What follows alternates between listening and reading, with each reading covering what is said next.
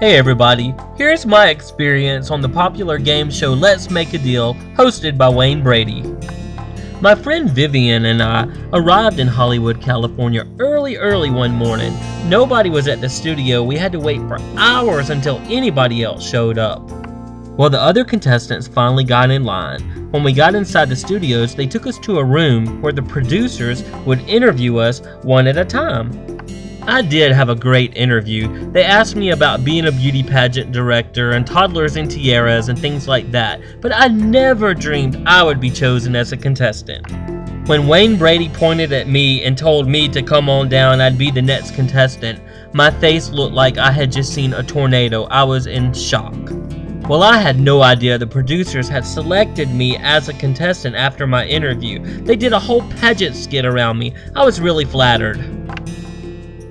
I think one reason I got so emotional is because I always wanted to be on The Price is Right for so long. I went there about seven times and never was chosen by the producer. So when I went to Let's Make a Deal and they actually chose me out of hundreds of people in the audience from my interview, it just overwhelmed me.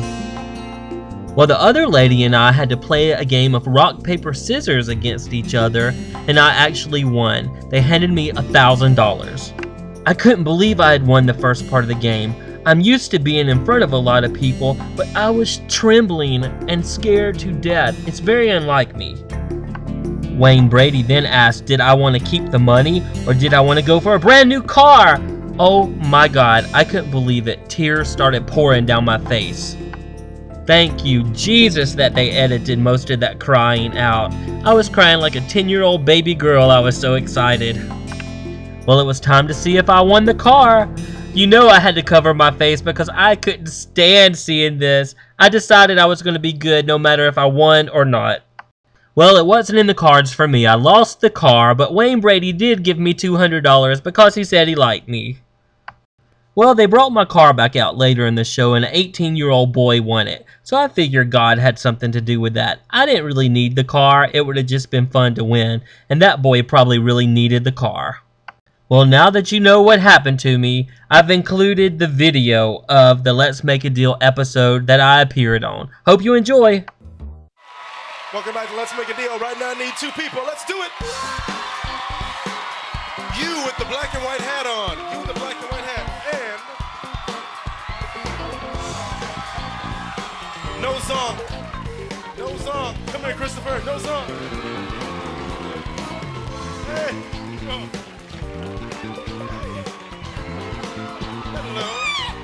Denise. Hey, Denise. Nice to meet you. Uh, thank you, sweetheart. And you are Christopher. Nice to meet you, Christopher. Hey. Christopher, no song. You got to keep that up. No, no song, no song. That that is quite a shirt. That that that's awesome. Now is that me? It's supposed to be. No, I like that. That's cool. Look how. And Jonathan, Tiffany. Wow, turn turn around, Tiffany. Did, wow, Tiffany, you. hey, his shirt's in 3D. I like it. Thank you. wow. Okay, I like that. So we're gonna play a little game of rock paper scissors. You know the old school rock paper scissors thing. So that could lead to a lot of prizes or cash or who knows? who knows? So so what do you do, Denise? What am I? Yes, ma'am. I am a go-go dancer. Oh, well, I, I, I meant in real life, but maybe you are a go-go dancer in real life. I could be. You could. I'm gonna leave that alone. And what do you do, Christopher? I am a beauty pageant director. Get out of here.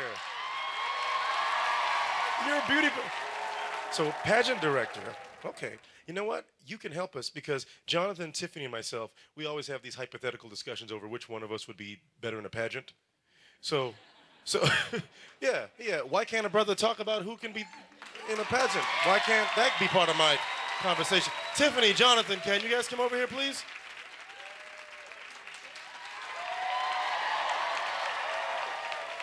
So the three of us will some some pageant music, and then you tell us which one you think would would, would be best in a pageant. Okay, come come over here. All right.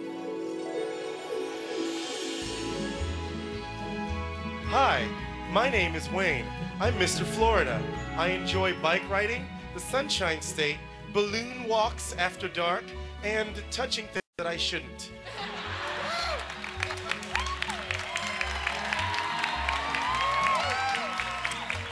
Hi, I'm Miss Utah. If I was to win, I would help feed starving children. Thank you.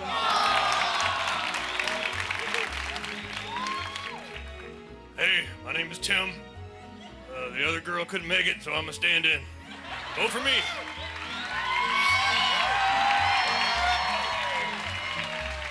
That's the prison pageant. so what? Thank, thank, thanks, guys. So, so what do you think? It's a tough decision, but I'm gonna go with Utah.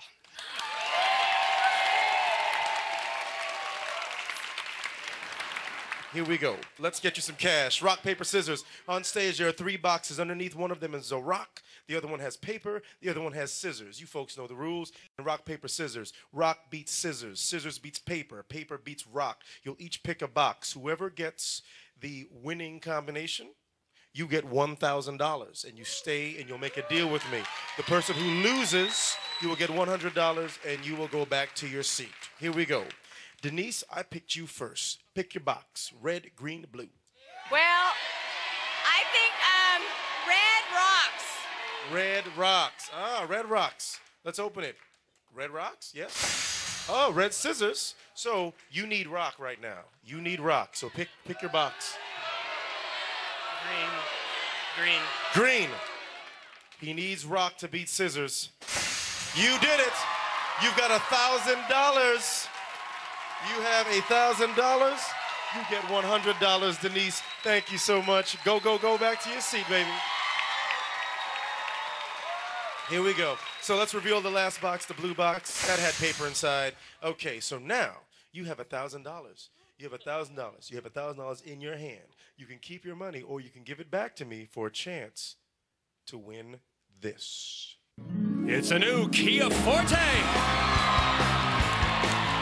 This Forte EX features a five-speed manual transmission, a deluxe audio system, plus steering wheel mounted cruise control. This deal's worth $16,690.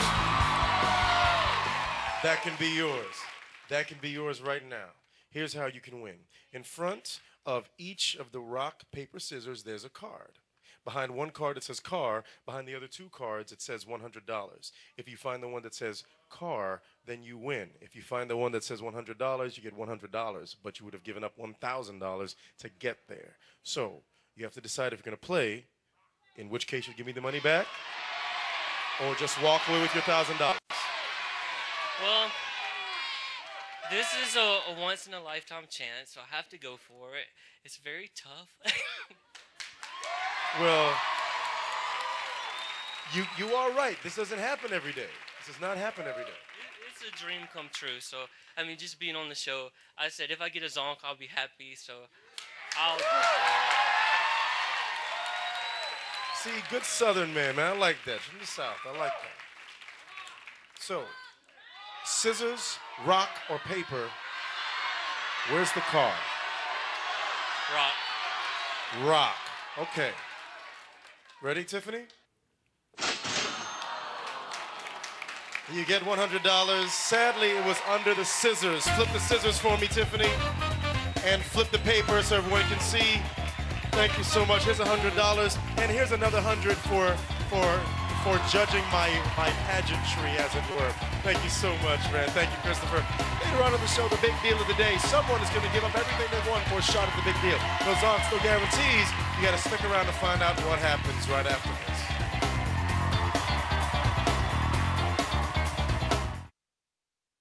this. Well, so far in my life, this has been the most exciting thing that had ever happened to me. I wouldn't have traded this experience for a million dollars. Well, during the rest of our time in Hollywood, we went to Pink's hot dog stand for a great breakfast. Also, during our trip, we were fortunate enough to get tickets to the Ellen DeGeneres show. I love me some Ellen. Well, Ellen just showered us with gifts that day. We each received a Blu ray DVD player, makeup, the social network DV, a Target $100 gift card, and a year subscription to Blockbuster Video. I've already used mine up and I got over 80 movies throughout the year. Well, I've only got one more fun goal I want to accomplish in my life, and that's to be called out as a contestant on The Price is Right. I've had that dream ever since I was a small kid. Well, maybe the eighth time will be my lucky visit to The Price is Right. You know, your dreams can't come true if you just sit at home on the couch hoping they do. Sometimes you just gotta go and see if they'll come true.